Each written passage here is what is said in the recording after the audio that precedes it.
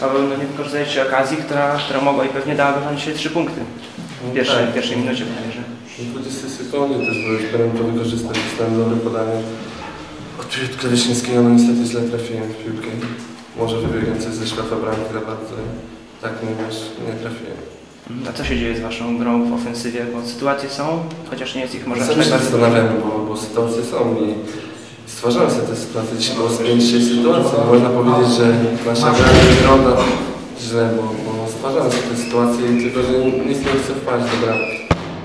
A ta końcówka nie była trochę może zbyt nerwowa, gdyby może spokojniej rozegrać? Spokojnie, jak jest 90 minuta jest 0-0 i, i Krzow broni się w 10.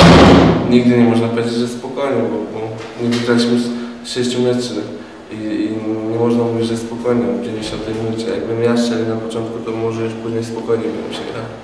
A jak w ogóle cenisz swoją grę dzisiaj? Znaczy nie, jako napastnik teraz liczy się z bramek.